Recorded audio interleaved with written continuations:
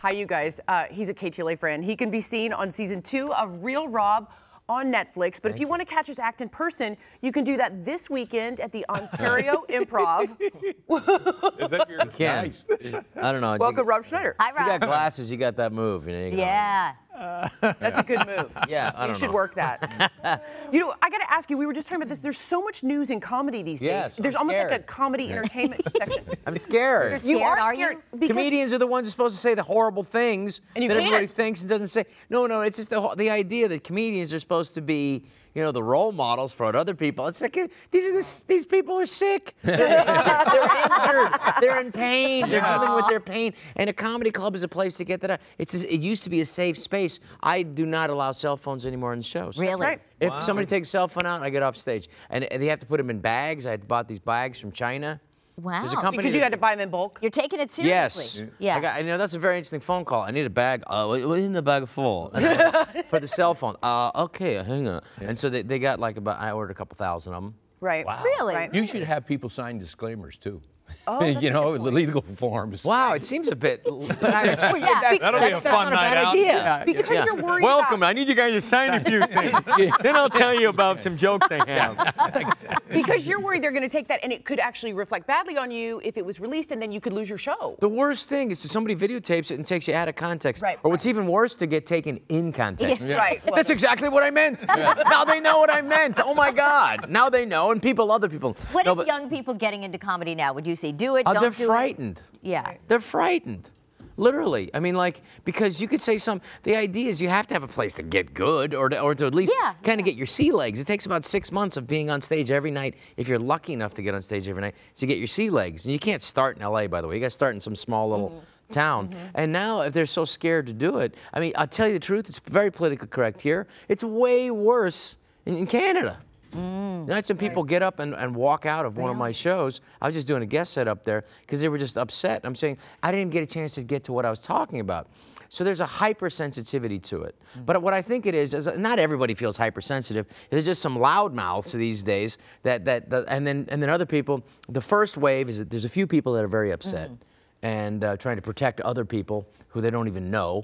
And then the second wave is, should I be upset about this? Maybe I should. Maybe I should. You know, I will be, because I don't want to look bad if I'm not upset. Right. And then so I'll be very upset, and then they'll see, and then now what, what could be upset about? So I, I don't believe it. It's gonna it's gonna turn. And I just tell people that like social media, if you look at any new industry that, that's affected the world, it's about 15 years in social media. So if you look at like aviation, 15 years in, you're looking from 1903 to 1918. It was still in biplanes. So technically, social media is still like in biplanes. So Right. we're not anywhere near like the jet age where people can dismiss this garbage. And I think you're just going to have to Twitter and all these other, you know, Twitter's the worst, the most horrible thing ever invented.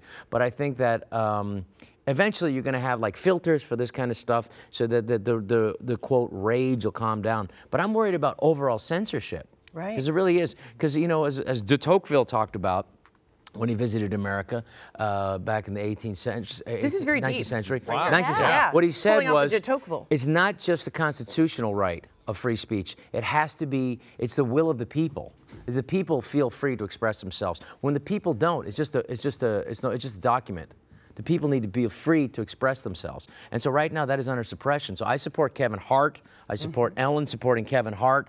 And, and I think you can't just imprison people, uh, you know, for, uh, for their words and, and, and stifle.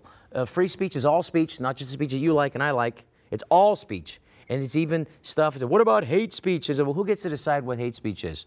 You know, inciting violence is not is obviously not free speech, but who gets to decide what is the abhorrent speech? And, and that's what we be, need to be very careful about, especially when you're watching my show. Yeah. Well, Speaking before, of- before we get to your show, so on, on the Kevin Hart situation, Yes. you think he should say, yes, Yes. I- I'm going to do this, and the Academy should You say sorry. that?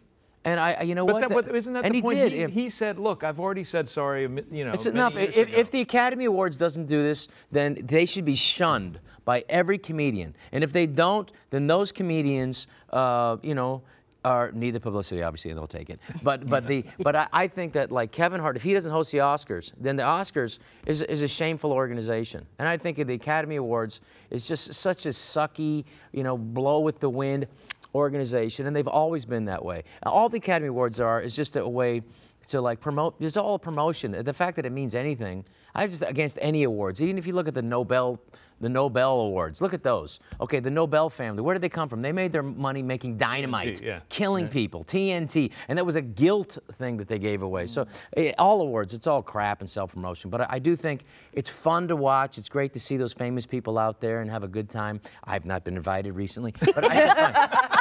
But, Kevin Hart, if he if he if they bring come back and invite him, then it'll it'll be a good thing for the first good thing for those for those morons over the Academy, and they are morons. And I I, uh, I really feel like I hope they come around and get their head out of their butt, and I hope Kevin does it because he's a great comedian. And you know sometimes you're going to say stuff, and and we can't judge people for what they said eight years ago. He is the premier comedian. He's the most popular for a reason because he's great, Yeah. and I support him. And don't watch the Oscars if Kevin Hart doesn't doesn't um, host. You know, I think they might not be inviting you What do you mean? What- what anytime did I say? soon. Were you You're not going to show this, are you? I'm just I take it all back. I love you guys. You know, the, the Oscars, they Just always, saying. the Oscars is always. You may have eliminated yourself. They always, well, I, I mean, I, I'm willing to, I'm willing to uh, present or park cars, whatever. you want.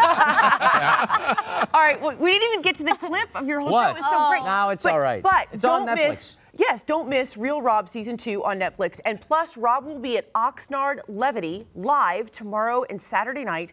And super cool, Rob has just decided he's going to give away free tickets to me, to all of my family, Yes. and to firefighters on fire- Sunday night. On Sunday night, if you want to come out, bring your badge. That's and you come on nice. in. Those guys saved my neighborhood. Yeah. And That's Thank you. That's Yeah. Firefighters, you bring your badge. I'll, I'll pay for your ticket. That's awesome. That's really nice of you. All right. Uh, for tickets, go to improv.com slash Oxnard. Firemen, come out Sunday night. We love you, Rob. Thanks Thank for you, coming in. And you're Rob. always Thank so candid. And, and I want to apologize to anyone I offended.